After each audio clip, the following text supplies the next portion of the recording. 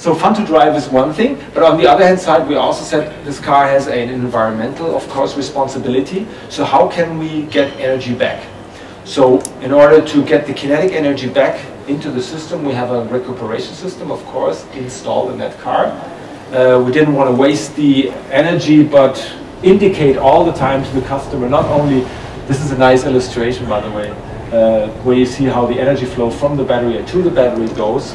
And what we have established inside the vehicle is we have actually two driving modes, a driving mode D and a driving mode L. And we have an additional steering wheel. This leads to a total of four different recuperation stages, which I will briefly illustrate to you. The first, by the way, the weakest one in D, has a deceleration of about 0.1 G, which is about 10% of a of a full brake, uh, yeah, full full breakage. And the L mode, which is on the other end side, has the highest. And here we have something that we call one pedal drive.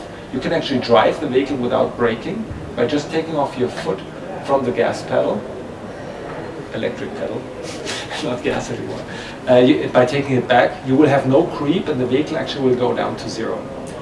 So in addition to the L mode, we have, if you pull, in addition the steering wheel pedal on the side, here it's a short, brief illustration of how, how that works. You need to have it pulled though, so just don't tip it, but keep it pulled as long as you want the deceleration to work.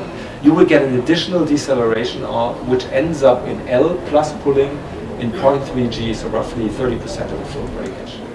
So in total, when you use the in-between stages, just low, which is the one pedal drive, or the drive mode plus the pedal, we have a total of four different recuperation stages so the customer can actually choose whatever he wants. Me, for example, I usually drive in L mode completely, and then I hardly use the brake, I just use the, uh, the little pedal to, to brake the car.